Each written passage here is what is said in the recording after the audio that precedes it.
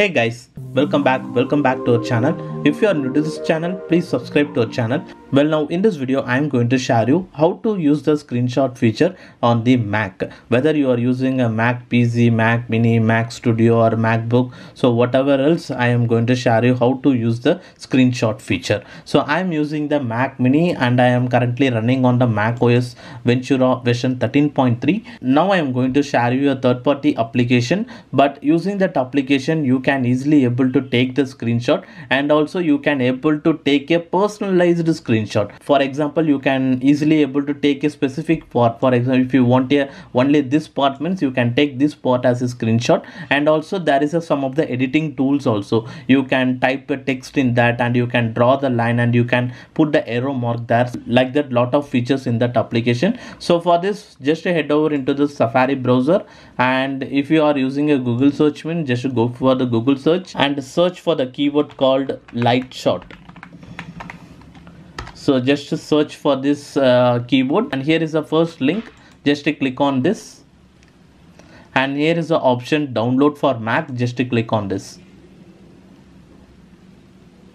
It is uh, already available in the app store itself. So now i'm actually already installed. So once you install it's a very easy. So once you installed in your launchpad you can able to see the application lightshot so it is available here. Lightshot screenshot. Just to open it so now after that once you uh, click on this lightshot here just click on the take screenshot option and that's it. Now you have to just hover like this. So wherever you want just highlight like this. And after that once you release so here you can able to see all the option. So once i'm actually click on the text option and here i can able to write any text here. So now i have written the text and also here is the rectangle option.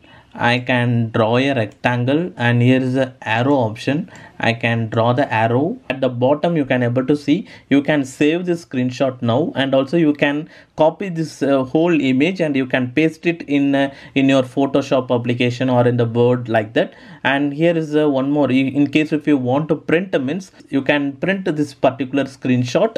And here is a google drive option and here is a share. And you can also save in any cloud storage as well as once you click on this option. Now i am going to click on the save option.